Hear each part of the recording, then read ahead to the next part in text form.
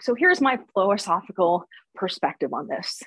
Um, poi is a practice of humility where you are prostrating yourself to the very real possibility at any point in time of being thwacked someplace where it hurts.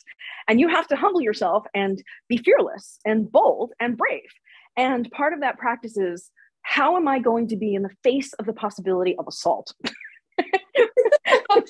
because your poi literally can be assaulting you. Well, the thing is, I I feel like most people who are self-taught do do that. They just dive into it, and then nobody coaches them. Well, you know, there yeah. ain't no shame in yeah. building up your confidence first before you get brave and bold with it. Sometimes it can just help give you the confidence so that you can stand there boldly and bravely.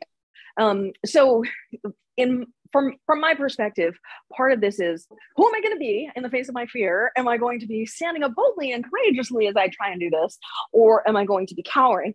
And then the irony of the process of um, doing that turtling is it's actually harder to keep it straight, and so you end up it becomes a self-fulfilling prophecy because you're protecting yourself you end up having shittier lines and as a result of having shittier lines you're more likely to hit yourself it's uh, it's a it's a surrender into the place of potential um, subjugation to these balls and string ultimately yeah. and this is why i recommend that you have something softer and friendlier and kinder